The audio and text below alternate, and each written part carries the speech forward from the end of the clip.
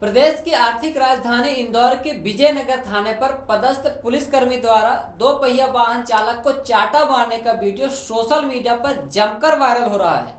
इसे लेकर police commissioner का कहना है कि फरियादी का मेडिकल चेकअप किया जाएगा, उसके बाद जो भी वैधानिक कार्यवाही होगी वह की जाएगी। दरअसल विजयनगर थाना अक्सर विवादित मामलों में घिरा रहता है।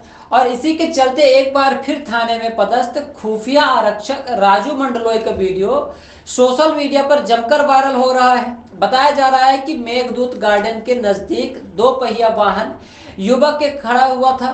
तभी किसी बात को लेकर आरक्षक और दो पहिया वाहन चालक में कहा सुनी हो गई। इसके बाद आरक्षक ने वाहन चालक को चाटा मार दिया।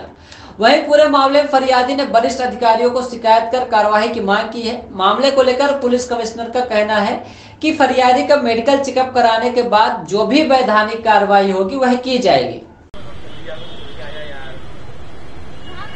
तो घर जा रही है भैया तो मिल लेना रोटी क्या मिल लेना मिल लेता हूँ आया मिलते आया भैया क्या आया यार तू तो घर जा रही है भैया तो मिल लेना रोटी क्या मिल लेना मिल लेता हूँ आया मिलते आया भैया क्या आया यार